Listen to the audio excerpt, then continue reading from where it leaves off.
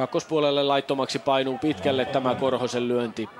Yksi ras, ristitaululla ja Hyvinkään Tahko johtaa siis 2-1 toisen vuoron tasoittavaa.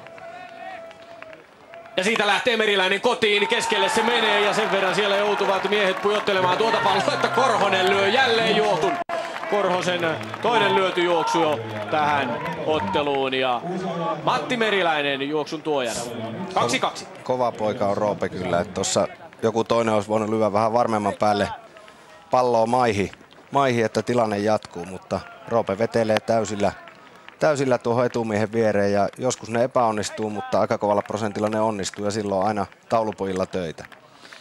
Lauri Suutarinen on kolmosella, kakkosella Ilmo, Immo Rautiainen ja ykköspesellä siis Roope Korhonen. Mailan Matti Salminen, Salmisen ensimmäinen on etulaiton. Mutta koko ajan nyt Sotkamo vyöryttää näitä tilanteita, ei ehkä sellaisella tahdilla kuin ehkä ihan parhaimmillaan, mutta joka tapauksessa tilanteita on tullut ja tilanne on siis 2-2 tässä ottelussa. Tässä on heti tehtailtu jo juoksuja kahdessa ensimmäisessä vuoroparissa. Tuleeko niitä lisää? Matti Salminen on varmasti sitä mieltä, että tulee, mutta nähtäväksi jää. Tuokin on etulaiton, toinen etulaiton erän jälkeen ja siitä näin, se oli kolmas lyönti, niin siitä tuli toinen risti taululle. Ja Hakkarainen mailan varteen, mies joka teki paluun pesäpallokentille, se on ihme temppu oikeastaan kuuden, lähes kuuden vuoden tauon jälkeen. Mutta joka tapauksessa tässä osoituksia myöskin siitä, että hän on ihan oiva mies vielä ja vahvistus joukkueelleen tällä hetkellä. Tuo meni kuitenkin kopiksi ja näin haavoittuu eteni ja saman tien ykkös kakkostilanne Korhonen ykkösellä, Rautiainen kakkosella, Hakkarainen mailan varressa. Ja nostaa sitten kolmannen ja tuo koppi otetaan pois ja niin, kenttä tyhjä. Niin pitää huomioida tietysti Hakkaraisen tapauksessa sen verran, että se ei ihan joka pojalta onnistu kuuden vuoden tauon jälkeen, mutta Karra on varmasti Suomen millä mittarilla tahansa mitattuna, niin ihan, ihan kaikki aikojen parhaita, parhaita ma- mailan miehiä ja tota, pitänyt muuten fysiikastaan huolta kaikki nämä vuodet, niin pienellä kesän harjoittelulla niin on mahdollista palata kuitenkin. Ja on ollut varmasti Jymylle niin erittäin tärkeä apu. Mutta näissä finaaliotteluissa, niin kuin eilisessä kamppailussa ja tässäkin ottelussa, niin hänestä ei vielä ole niin sanotusti saatu tehoja irti. irti. No joo, ei ole vielä sille onnistunut, mutta ei ole toistaiseksi ollut tarvettakaan. Että uskon, että silloin kun tarvitaan, niin Karra, Karra kyllä pystyy ratkomaan. Ja näin Heikkinen pistää siihen Ketosen viereen tuon lyönnin ja pääsee sillä ykköspesälle. Ja sitten häntä saattelee tästä eteenpäin numero kahdeksan Mikko Kuosmanen. Jimi Heikkinen siis tällä hetkellä kärkenä Sotkamolla. Kahden ristin tilanne ja ottelu on 2-2 tilanteessa. Siitä Komppu on etulaiton. Nopeasti pistää Rantanen pitää nyt hyvää tahtia koko ajan ja kakkospuolelle ja tästä tulee se kolmas palo saman tien. Kotijoukkueen pelaajat nostavat kädet ylös ja saivat tuon kolmannen ristin taululle. Kaksi vuoroa pelattu tässä toisessa finaalissa. Tilanne on 2-2. Tämän päivän tähdet. Huomenna Iltasanomien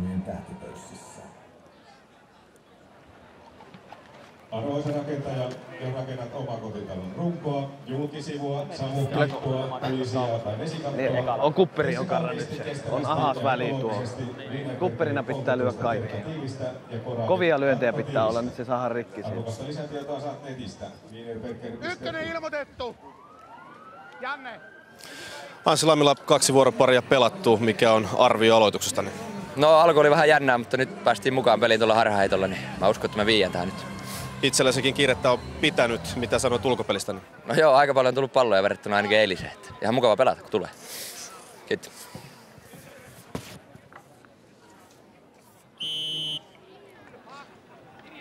Ja nyt kotijoukkue Hyvinkään tahko sisävuoroon.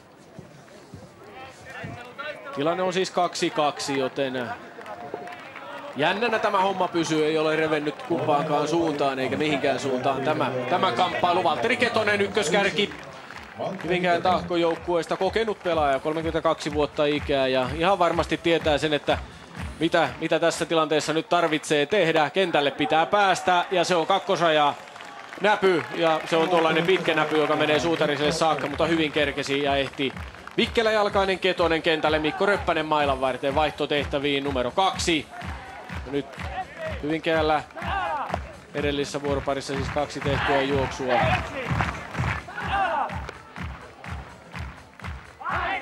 Joten varmasti samanlaiset haut tässä on tällekin vuoroparille joukkueella. Ja sitten ykkösrajaan, mutta ei ehdi eteniä. Ketonen palaa sinne. Kakkospesällä Salminen ottaa hyvin kiinni ja hyvin haki Heikkinen tämä.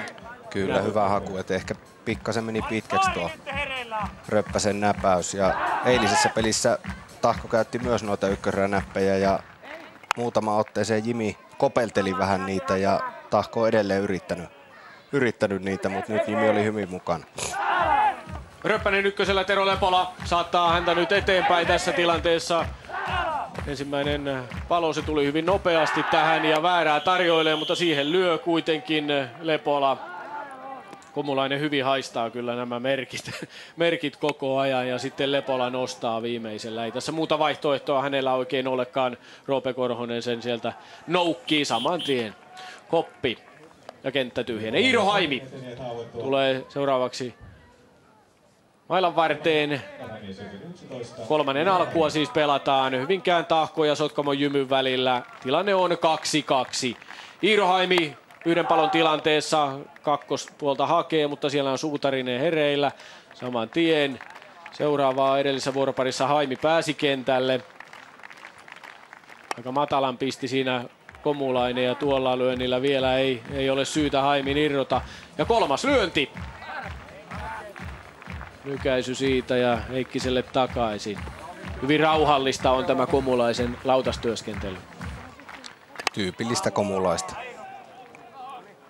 Ei kannata muuttaa hyväksi havaittua kaavaa, tai voiko oikeastaan lukkari minkälaista kaavaa pitääkään?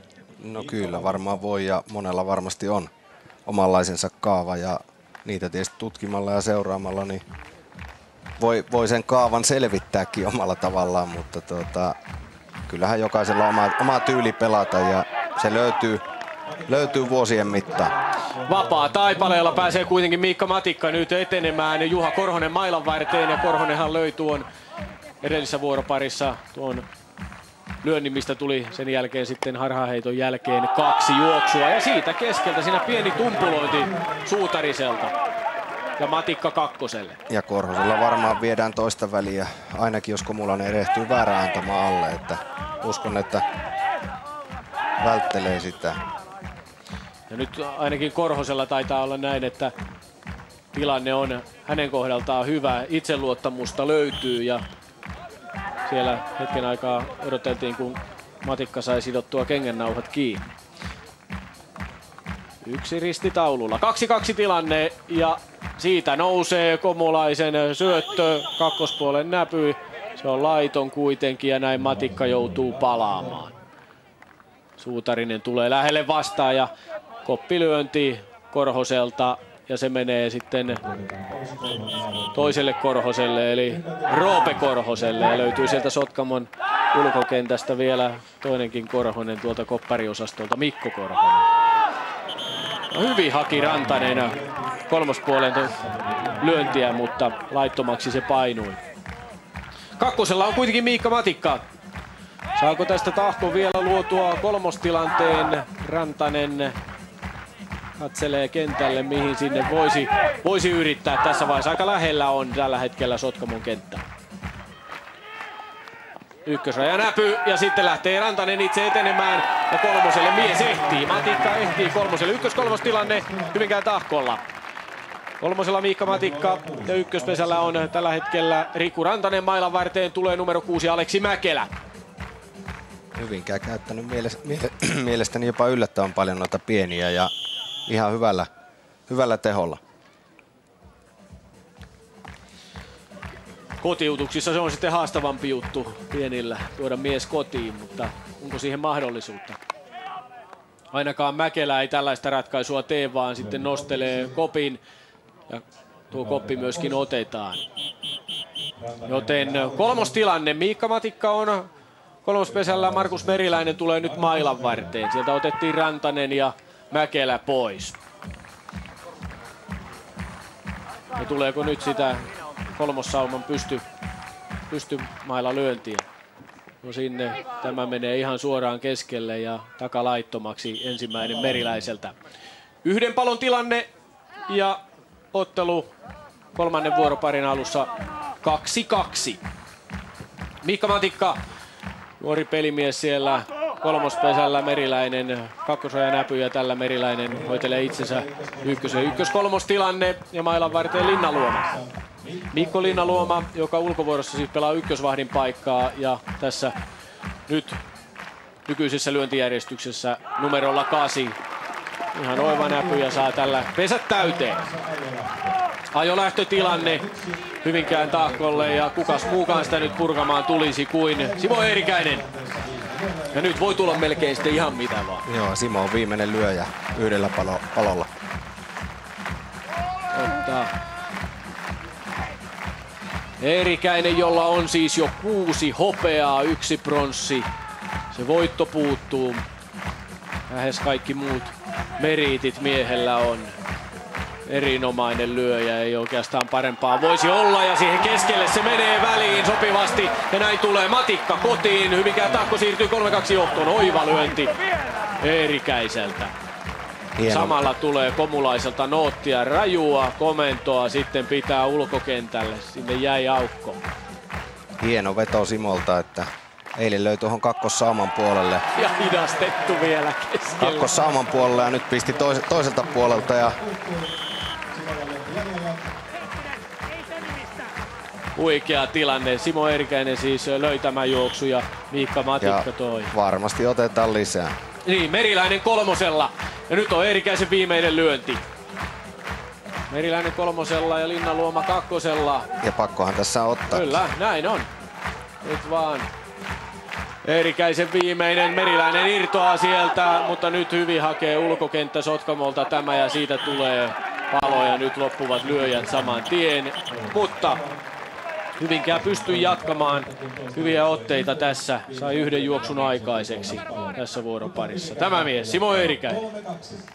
Kyllä, tässä menee jo kommenteissakin ja ajatuksen sekaisin, että on niin, niin hienoja vetoja nimenomaan Simon ja Korhosen Roopen kaksintaisteluahan tämä on. Toni Kohonen, kun finaaleita pelataan, paineet ovat tietysti kovat. Mitä sanot joukkueiden pelirohkeudesta tänään?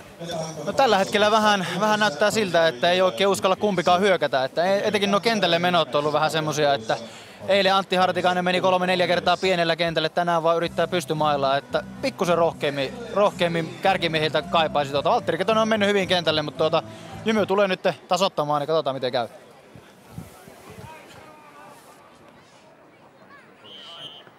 Ja Jymy on yhden juoksun takaa jo asemassa tässä tilanteessa. Kotijoukkue Hyvinkään Tahko johtaa 3-2. Ja kolmannen vuoron tasoittava. Antti Hartikainen Sotkamo Jymyn kärkenä hyvin korkean tolpan tarjoilee tässä Rantanen ensimmäisellä Lepola hereillä. Se on Röppänen, joka sieltä tuli vastaan sen verran. Paikkaa hyvin sitä kolmossaumaa, ei sieltä kovin helposti sitä löydy. Pysty mailaa siinä Hartika. Se oli oikein. Eli viimeinen lyönti Hartikaisella. Tässä ottelussa kentälle pääsy on ollut paljon tuskaisempaa kuin tuossa ensimmäisessä finaalissa eilen. Ja näin haavoittuu. Hartikainen, Matti Meriläinen seuraavana yhden juoksun tuonut tässä kamppailussa. Ja Meriläinen eteni ja Jokeri pysty mailaa kolmospuolelle. Lepola hereillä ottaa kopin siitä. Nyt on vaikea Sotkamolla päästä, päästä jopa kentälle, mutta taisi olla edellisessä vuoroparissa ihan sama vaihe, että sanoin tässä vaiheessa ja sen jälkeen alkoi rullata.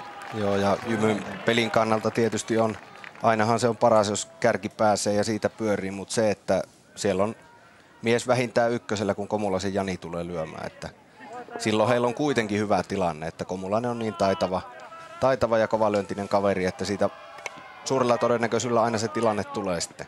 Ja Meriläinen nostaa sinne Lammilalle kopiksi tämän ja Lammila ottaa kopin pois, ei pääse Meriläinen kentälle. ja sitten Immo Rautiainen seuraavana. Ja kyllähän tuo Sotkamon lyöntijärjestys ja sisäjärjestys ylipäätään on, on sitä sorttia, että siellä voi edetä oikeastaan mies kuin mies. No kyllä, tämä on hyvä, hyvä esimerkki, että Immo Rautiasta käyttää myös näissä nollatilanteissa, että ei ole kuitenkaan mikään huippunopea kaveri ja silti laitetaan tähän. Kolmannen vuoroparin tasoittava. Hyvinkään tahko johtaa Sotkamon Jymyä vastaan 3-2, kun Sotkamon Imo Rautiainen pääsee ykköselle. Ja näin Lauri Suutarinen tulee sitten tässä vaiheessa siirtämään, vaihtamaan miestä eteenpäin. Suutarinen hakee keskeltä näpyä hyvin, se Ketonen hakee ja polttaa Rautiaisen kakkoselle. Suutarinen siirtyy ykköselle. Odot... Komulainen. Joo, odotteli siis Suutariselta. Hän osaa hyvin tuon kolmosrajaan kääntöpompu ja nyt joka kerta ykkösvahti Linnanluoma tulee tuohon neljään viiteen metriin, että siitä on suht helppo lyödä hänen ylitseen se löysä pomppu. Ja pienellä siirtää sitten Komulainen eteenpäin, mutta ei onnistu.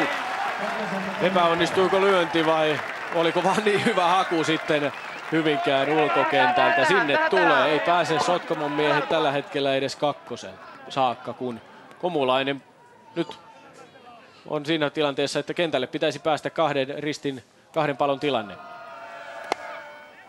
Ja sieltä kakkosjatkeelta sitä ratkaisua Kumulainen haki. Laittomaksi painui.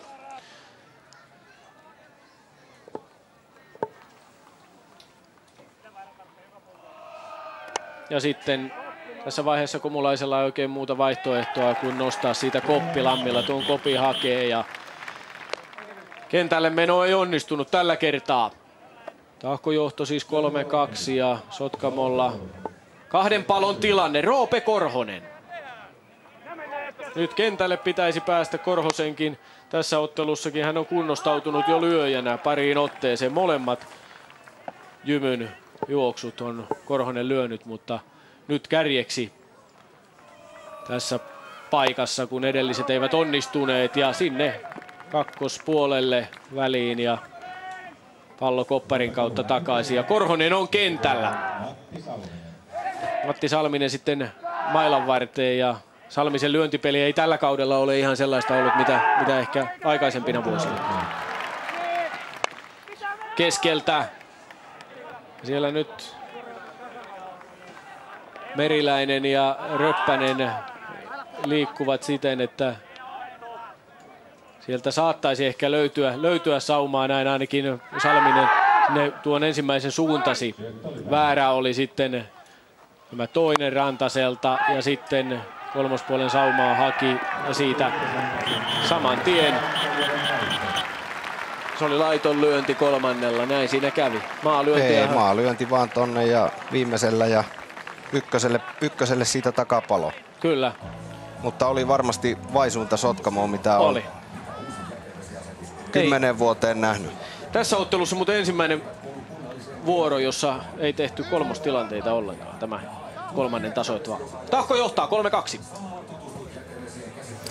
Jani Komulainen, hieman on näyttänyt siltä, että molemmat joukkueet hieman varovaisesti otteluun ovat lähteneet. Tyydytkö tähän? No tota, enpä nyt osaa sanoa, että tämmöistä perusfinaalitunnelmaa on ja hieman hermostunutta molemmilla joukkueilla, että ehkä se siitä johtuu, että näyttää varovaiselta. Missä pitäisi vielä parantaa, jotta tässä tilanteen voisitte kääntää? No kyllä nyt pitää pelata nollavuoroja. Se kyllä onnistuu, kun ei anneta lahjoilla. Että pääsettiin kaverin mukaan lahjajuoksulla tuossa ja sitä kautta saivat siihen hyvän alun, alun tälle jaksolle. Että hyvä ulkovuoro ja sitten tehdään tilanne ja Roope lyö juoksut.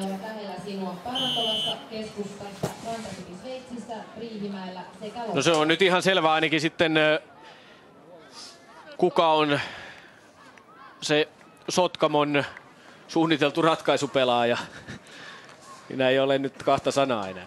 No joo, se on varmaan molemmissa joukkueissa aika selkeä tilanne ja tietysti ainahan siellä se, jolla se tilanne tulee, niin on syytä se vastuu ottaa ja molemmissa joukkueissa on kuitenkin muitakin, jotka pystyy, pystyy juoksuja lyömään. Niitä läpilyöntejä ei ole vielä tullut tänään. Ei no yhtään. ei, ja niitä, niitä tietysti tällä Pihkalan kentällä aina myös ulkopelijoukkueen varoja pelaa, pelaa sillä tavalla, että se vaatii yleensä sitten lähes täydellisiä lyöntejä. Valtteri Ketonen hoiteli itsensä kunniakkaasti ykköspesälle ja näin Mikko Röppänen vaihto tilanteessa.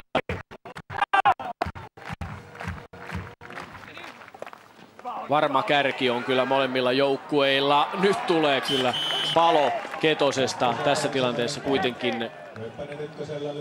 Joten ensimmäinen palo. Tässä Salminen nappaa pallon ennen kuin Ketonen ehtii sinne kakkospesälle. Röppänen selviytyy kuitenkin Lepola lyönnin turvin kakkoselle, Lepola ykköselle, etupesä täynnä. Korhonen mailan varteen. No kyllä tässä pitää aina hereillä olla, kun Korhonen on lyöntitehtävissä.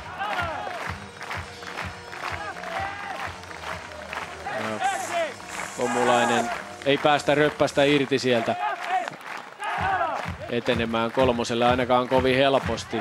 Nykäisyjä tulee nyt ja pitkää settiä, pitkää settiä nyt tarjoilee.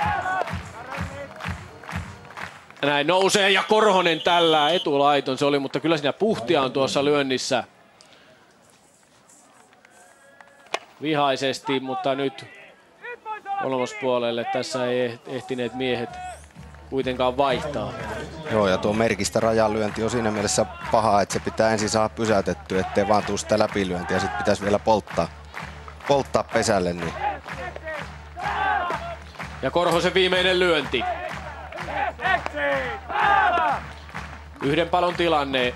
Neljännen alkua ja väärää tarjoili tähän Komulainen, mutta siihen ei tällä kertaa Korhonen lähtenyt tuohon yritykseen. Jännä paikka. Ykkösraja näpyy ja se ei saa kiinni Heikkinen sitä. Ja näin. Pesät täynnä. Röppänen kolmosella. Kakkosella on Lepola. Lepola näin aika lisä tässä vaiheessa. Meillä on vapaalla yritys kertaa. Aikalla vapaalla. Jätetään viimeiseen. Pitäisikö vaan hyökätä? Saatana. No, on aika. Viimeisellä kakkosraja. Niin. Siinä on kahden palon paikkaa aina. Ekalla, ekalla kakkosraja. Ekalla vaan. Ekalla vaan hyökätä. Hyökätä vaan. Ei viimeisellä, viimeisellä haetaan vapaa. Viimeisellä. Joo, pervonen. Onko tää sen vasen? Eteen sinne. Sano mitä te Joo, viimeisellä väärä pois kakkosraja. Tulos tai ulos. Simolle tulee. Viimeisellä kakkosraja liike. Okei. Mm. Pitää saada nyt sitten painetta niille. Tavalla. Niin. Häh? En lyö sitä kupparia, niin vedetään kakkospesää. Vedetään kakkospesää ja viimeisellä kakkosraja liike. Niin. Entäs saadaan väärä alle, niin hyökätäänkö sen jälkeen? Joo. Sano. Hei, hei. Siinä tuli, tuli ohjeet. Ota niistä nyt sitten selvää. Joo, tahkon paikallisän juonet jatkuu eilisen kaltaisina, eli siellä monta vaihtoehtoa pyöritellään ja lopulta se ratkaisu löytyy. Juu ei. Sitten Riku Rantanen kakkospuolelta. Sieltä haetaan sitä kuitenkin. Sen verran sain selvää tästä. Joo, etenkin se viimeisen ratkaisu sitten leikkurina joko laiton tai läpi periaatteessa. Korhonen, Lepola ja Röppänen ovat pesillä ja mailan varressa siis Riku Rantanen. Hyvinkään Tahkon kotiyleisö on täällä Pihkalassa saanut jo ihan kädet liikkeelle ja kannustusta tulee. Yleisö on mukavasti paikalla niin kuin loppuotelussa kuuluukin. Röppänen irtoaa sieltä, mutta ei vielä tällä lähde ja viimeisen varaan tämä jää. Yhden palon tilanne kotijoukkue johtaa 3-2. Riku Rantanen ja siitä nousee Komulaisen ja näin lähtee myöskin laiton tuo oli tuo viimeinen palo siitä tulee sitten, joten yksi palo tässä vaiheessa. Kahden palon tilanne 3-2. Komulainen antoi siinä pahan syötön vähän tonne itsensä päin, että siinä oli käytännössä mahdotonta lyhä ainakaan leikkurina tuohon viivaan. Eerikäinen mailan varteen. Simo Eerikäinen ensimmäinen, se on merkkaamaton ja keskelle se menee. Kuosmanen hereillä, pallo kotipesään. Eerikäinen toinen, nyt on merkki päällä siellä eteni ja irtoa, Röppänen irtoa, ehtii pallo kuitenkin ennen miestä. Ei ehdi, näin se oli. Tiukille se veti kuitenkin. Joo, tarkka tilanne, että Kuosmasen heitto, heitto jäi vähän alas, tuli monella pompulla, ja, ja tota, mutta Sotkamon pelin kannalta äärimmäisen tärkeää, että Tahko ei saanut lisäjuoksuja. 3-2 tilanne ja neljännen tasoittava. Toni Kohonen, jännitys tiivistyy. Mitä sanot Hyvinkään sisäpelistä tänään? No ihan hyvä ollut, että edelleen sama trendi jatkuu, mikä oli Sotkamossa, että pieniä lyövät edelleen ja Janin käsistä pois. Jimille on kaikki pienet tullut ja ei vielä ole paloja tullut, mutta tota, nyt on tasoittava jymyllä, että katsotaan mitä keksivät. Niin, mitä pitäisi tehdä? No lähinnä tuo kärki varmaan pitäisi nyt saada niinku uomi, että Hartikainen suutarinen siinä Jani eteen juoksemaan ja perusajolähtöön, niin silloin jymy on vaarallinen.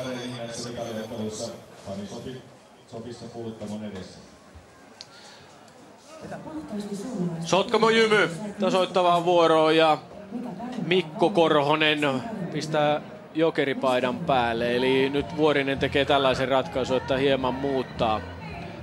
Samoin taitaa olla Jimi Heikkinen, joka pistää eteniä, eteniä jokereitahan nämä miehet taitavat täh- tässä tilanteessa olla. Antti. Mutta Hartikainen aloittaa silti lyönnit. Joo, siellä jätetään neljä, neljä välistä. Kyllä.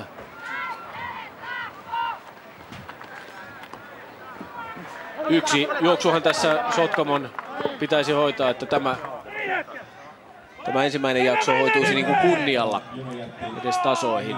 Hartikainen mailan varressa ensimmäinen nousee tästä pystymailalla ja hyvin varmasti Hartikainen nyt kentälle. Joo, Hartikaisella on ollut vähän ongelmia, mutta nyt tärke- tärkeässä paikassa hyvin hoitaa homma. Lauri Suutarinen häntä saattelee tästä eteenpäin.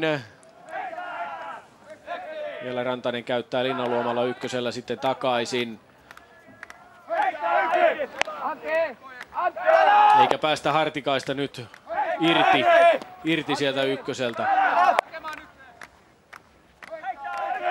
Kolmannen kerran jo ja nyt on Linnaluomalla kohta nilkat kovilla, jos tuossa vielä joutuu peruuttelemaan ja sitten Suutarisen pomppulöinti. Ja se on hyvä lyönti, mies ehtii hienosti kakkoselle ja Suutarinen itse ykköselle. Joo, siinä tuli se pomppu, mitä kaipaili. Että ottelin sellaista löysempää, mutta löi ihan reilusti. Reilusti kolmosvahi yli sen. Lyhyt mies lyö hyvin pomppuja muuten silti.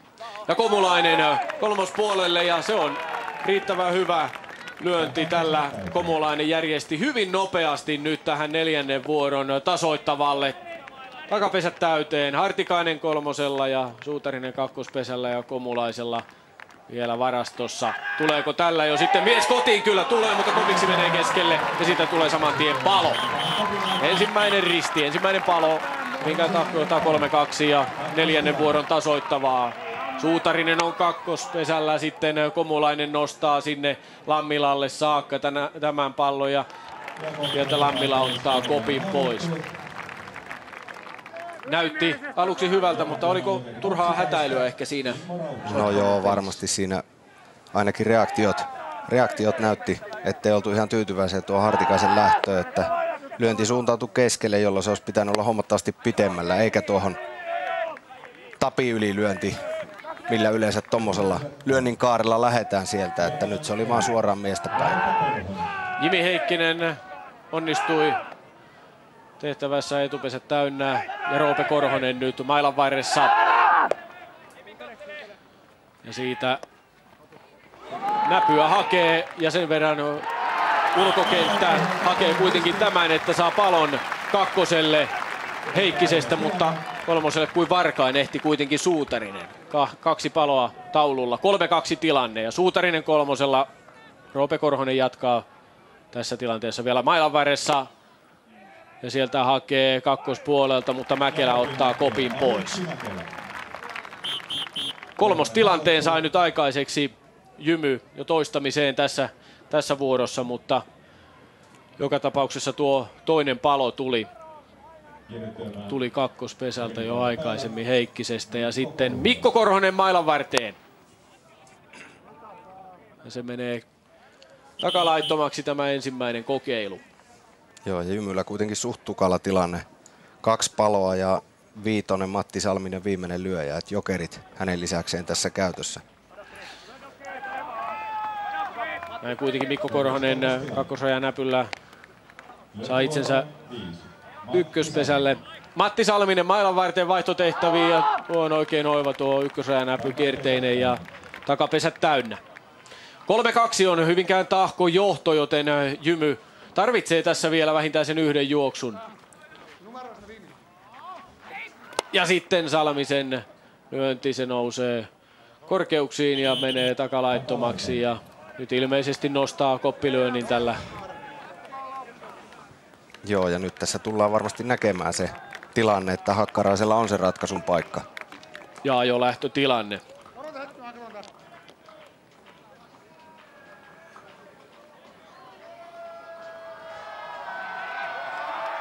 Ja siitä Salminen nostaa tuon. Ja Mäkelä ottaa tuon kopin pois. Joten Sotkamo ottaa aika lisää. Kyllä. Mielenkiintoista kuulla nyt, mitä Vuorinen miettii. Röppäselle pomppu vaan. Niin, päälle. kyllä. Se on hyvä. Siitä pykäri asennosta vielä vähän taipetta.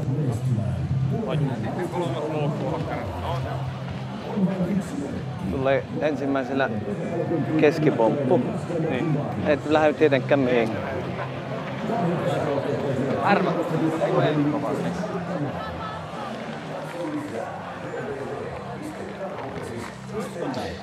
Eli ensimmäisellä keskipomppu ja sitten ilmeisesti tuonne kolmospuolelle väliä hakee Hakkarainen. Niin, no ensimmäisellä otetaan keski, keskipompulla Niin, niin. suoraan syötästä mies kotiin. Ellei nyt sitten Jymyllä ole koodikieltä käytössä, mitä joskus, joskus on nähty, että tuota, ratkaisu onkin ihan, ihan muunlainen. No nyt se sitten ehkä nähdään tämä, mutta nämä koodikielien purkamiset, ne alkavat olla niin monimutkaista touhua, että siitä voisi kohta jo väitöskirja ehkä vääntää. Ei, ja hyvä, hyvä ajatus, ajatus kieltämättä ottaa tuossa pompulla, että varmaan odotellaan, että Karra hakee joko vapaata kumuraa tai sitten, sitten lyö myöhemmin merkistä sen pystärin tuohon väliin, että kyllähän siinä vähän yllättävää makua on. On ja ainakin tällä hetkellä Röppänen on suht kaukana kolmospoltteena. 3-2 on tahkojohto ja nyt Jymyllä on ratkaisun paikat tässä. Hakkarainen mailan varressa. Kolmosella Suutarinen irtoaa keskipomppu ja se pomppaa juuri siitä yli, mutta mies palaa kotipesään. Näin on. Rantanen saa pallon ennen kuin Suutarinen syöksyy ja näin. Pomppu ei noussut riittävän korkealle. Etumiehen yli no kyllä. joo, meni, meni yli, mutta ei pikkasen epäonnistu. Että, ja meni suor, suoraan. Röppänen pääsi hyvin siihen ja oli, oli hyvin mukana pallossa ja lyönnissä ja, ja hyvä suoritus. Ja Tahkolle kyllä iso, iso jaksovoitto. Tahko vei ensimmäisen jakson, 3-2 juoksut. Selvä. Mitähän asia koskee? Arvovaltaiseen sanomalehteen hyvistä työnantajista. Niin. Meitä on suositeltu Ja tämä ensimmäinen jakso siis? Roope Korhonen löi vierasjoukkueen molemmat juoksut ja sitten Juha Korhoselle kaksi merkattiin siitä tilanteesta sen harhaheiton jälkeen ja Simo Eerikäinen löi yhden juoksun tässä ensimmäisellä jaksolla. Tuttuja Niin. ratkaisijoita. Niin, siis Tahko, tahko pääsi sillä haraheitolla mukaan, että kyllä siihen asti Jymy niin kuin vaikutti hallitsevan tätä peliä kaikin puolin, että vaikkei se ollut kuin juoksun, juoksun edellä, mutta tuota, Tahko pääsi sillä haraheitolla mukaan ja sen jälkeen tuli itseluottamusta ja varmuutta ja ote tiivistyi tiivistyi kaikella tavalla ja Jymyn peli taas kipsaantui aika pahasti, mikä nähtiin tuossa etenkin kolmannessa vuorossa, että se oli tosiaan huonointa Jymyä mies muisti. Ovatko juoksumäärät suunnilleen sitä, mitä, mitä ehkä ennakoit ja ajattelit? No kyllä tässä näissä olosuhteissa ja Pihkalan kentällä niin olisin ottanut, ottanut kuitenkin enemmän juoksuja, mutta tuota, molemmat pelaa tiukkaa, hyvää ulkopeliä ja tosiaan ne reunat, laidat pidetään kiinni siellä. Janne Vuorinen, miten arvioit teidän avausjakson suoritusta? No ihan kova jakso kauttaalta hänen jakso ja ei pystytty vaan ottamaan. Ja neljännessä vielä tuossa tasoittavalla niin tuli eteen esimerkiksi kaksi virhettä, mitä ei, ei kärsi vaan näin tiukassa hetkessä tehdä. Yleisellä tasolla, miten arvioit peliä, oliko avausjakso odotetunlainen? No tasainen jakso ja tuota, Tahko pystyi sen verran puristamaan, että ansaitti voiton. Että kyllä me pelillisesti niin pelataan hyvää peliä, niin pitää pärjätä. Minkälaisia asioita pelaajille se korostat tauon aikana? No pieniä muutoksia ehkä tehdään tuohon ja lyökkäriin ja ylipäätään se tahtotila pitää olla ja kärsivällisesti tehdä omia asioita ja näin. Että nyt on tosi pienet erot, niin pitää vaan tehdä kovia suorituksia. Kiitos. Jatketaan Hyvinkään tahko pelijohtaja Miika Rantatorikon kautta. Mit kommenttisi avausjaksosta? No joo, hieno.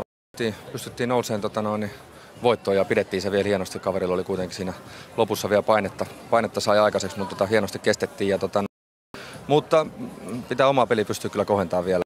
Tota, Jymy varmasti tulee kovempaa toiseen jaksoon, että sisäpeli osalta niin siinä on vähän ykköstilanne purkami pitää parantua. Ennen ottelua sanoit, että virheiden tulee eilisestä vähentyä. Oletko tyytyväinen näkemäsi? No osittain kyllä, osittain en. Tota, no, niin, tietysti nämä pelit on aina niin tasa, tasaväkisiä ja kaksi joukkuetta, niin pieniä virheitä tulee ja ne kuuluu tähän peliin, mutta totta kai niitä pyritään koko ajan minimoimaan. Missä asioissa vielä voi, voitte toisella jaksolla parantaa? No totta kai tuo meidän nyt ei ole oikein ihan toiminut, että tota, no, niin siihen tarvii miettiä muuta. Kiitos. Pelijohtajat vaikuttavat edelleenkin yhtä levollisilta kuin ennen peliä, joten ilmeisesti nuo kuvahdukset ovat tasanneet melko nopeasti. No joo, tietysti kuuluu, kuuluu peliin ja siinä vaiheessa mitä pelissä aina tapahtuu, niin niihin reagoidaan sen mukaan, mutta kyllä tasainen, tasainen ensimmäinen jakso, että diipa daapa, kummalle tahansa olisi periaatteessa voinut, voinut kääntyä, että kyllä nyt, nyt se yksi harhaetto oli erittäin ratkaiseva. Ratkaisi tämän, siis Hyvinkää vei ensimmäisen jakson 3-2, kolmostilanteita Hyvinkäällä kahdeksan, Sotkamolla seitsemän, nämäkin kertovat siitä, että tasaista tämä on ollut.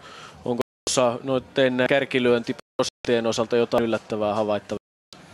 No joo, sen verran tahkosta, että Ketonen on mennyt hyvin kentälle, mutta Reppäsen Mikolla on ollut siinä ongelmia, ja, ja, mutta hyvin kuuluu tähän asiaan. Se ainoa onnistuminen tuli siinä, missä Ketonen palasi hyvin pesälle. Tämän jälkeen kakkostaan Korhosen taktisesta väärästä hieno varsimista harhaheittoa kaksi juoksua. Että nämä on, sekin osoittaa, että nämä äärimmäisen pienistä, pienistä asioista kiinni. Et tuota, muuten tahkon viisikkohan on pelannut kovilla tehoilla. Siellä on, siellä on tuota 67 ja, ja sitten Saalla prosentilla on Korhosen Juha hoitanut hommat. Et tota, ihan, ihan. Ja, ja tota, Sotkamolla taas Hartika ollut ongelmia tuossa kentälle Suutarinen tuossa lopussa. Sai, sai jo vaihon onnistumaan ja, ja tota, Komulaisen kakkosvaihot oli, että muuten ollut sitten vähän ongelmia. Roope tietysti jatkaa sadalla prosentilla edelleen. Ja näistä tilastoista sen Simo Eerikäinen on lyönyt yhden juoksun ja kaksi tuli siis parhaheitolla Hyvinkäälle tuotuja juoksuja. Valtteri Ketonen, Tero Lepola ja sitten Miikka Matikka. Ja Rupe Korhonen lyönyt molemmat Sotkamon juoksu. Lauri Suutarinen ja Matti Meriläinen juoksutuojina. Ja tässä Hyvinkään sisätehoja. Joo, Sinne ei. kärkilyöjien prosentit hyvät Korhosen kohdalla. Niin sen verran, jos tuosta sanoisi, että tässä jokunen peli sittenhän Tahko teki vaihdoksen, siirti Terolle kolmoseksi ja se on ollut minun mielestäni todella positiivinen yllätys ja se edistys tuohon, että ollaan ottanut kolmosen pääpelitekijän roolin todella hienosti ja, ja tuota, on, on varmasti hoitanut hommat ja on monipuolisia lyöntiratkaisuja ja, ja tota, ehdottomasti tärkeä kaveri niin välierissä kuin nyt näissä finaaleissa Tahkolla. Kauden aikana Tahkon kahden toiminta on kehuttu. Se on ollut värikästä, mutta kyllä värikäs peli on jatkunut näissä jatkopeleissä ja nyt tässä finaalissa. Ja tässä Sotkamon tilastoja sitten. Roope Korhonen, Komulainen Suutarinen ovat ihan, ihan kelpo prosentilla hoidelleet. No joo, ja tuttuja kavereita, ketkä jymyllä yle, yleensäkin on tehokkaita ja menestystä kun he mielivät, niin myös näiden miestenhän on, on siellä onnistuttava ja tuossakin on vielä parannettavaa niin Suutarisella kuin Janilla. Ja seitsemästä kolmostilanteesta kaksi juoksua.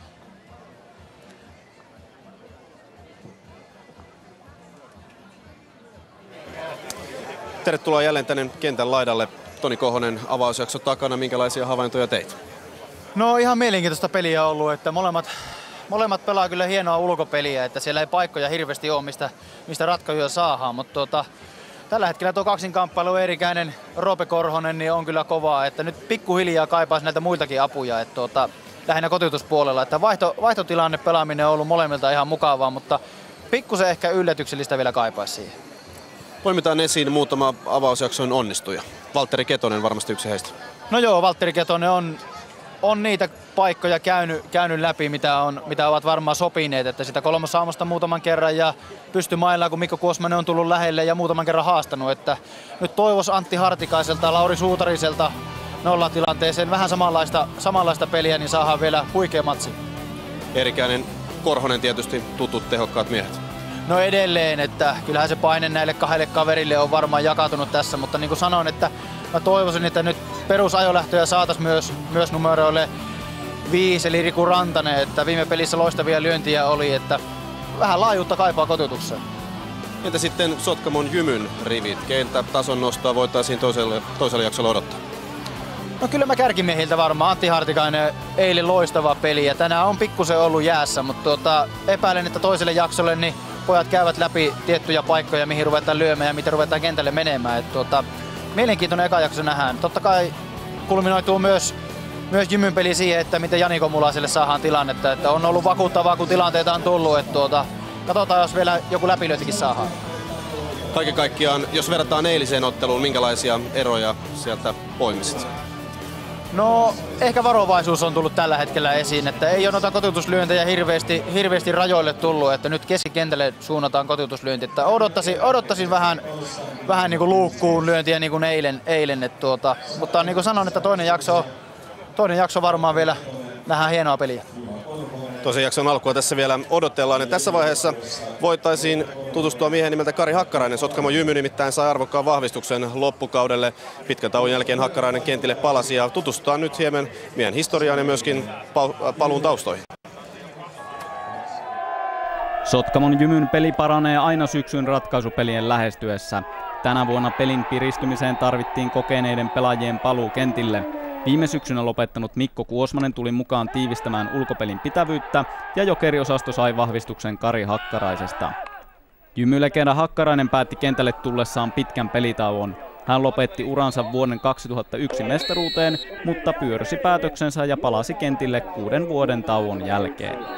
No joukkueessa oli ihan niin selkeä pula, että tota, ihan, niin kuin, ihan siihen tarpeeseen tultiin tuohon joukkueeseen vanhojen, vanhojen juttujen takia niin asema joukkueessa on tietysti ihan, ihan hyvä ja tuota, täytyy olla niin nuoremmille pelaajille esimerkkinä ja, ja näin poispäin. Hakkarainen teki ensi esiintymisen tällä kaudella kuukausi sitten Oulun Lippoa vastaan. Paluu mailan varteen monen vuoden jälkeen ei ollut helppo. No kyllä se on tosi vaikea ollut, että varsinkin silloin ensimmäiset pelit, niin kyllä oli tosi hankalia niin kuin pelitempo, niin se oli, se oli semmoinen totaalinen shokki. Ja, ja, ja muutenkin niin noin pitkän tauon jälkeen niin on kyllä tosi haastava, haastava tehtävä ollut tulla takaisin. No kyllä mä onnistunut ihan silleen, niin kuin mitä niitä tavoitteita asetettiin ja mikä, mikä niin kuin on se pelillinen rooli tuossa joukkueessa. Että yhtä kahta juoksua pelissä pitäisi lyödä ja kyllä mä siihen on ihan hyvin pystynyt. Hyvä on! Hakkaraisen ansioluettelo pesiskentillä on vertaansa vailla. Hän on voittanut Jymyn paidassa seitsemän Suomen mestaruutta, yhden hopean ja yhden pronssin.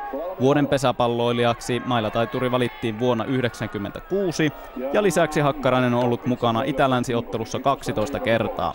38-vuotiaan sähköasentajan ensimmäinen mestaruus on 17 vuoden takaa, kun Sotkamo voitti finaaleissa Imatran.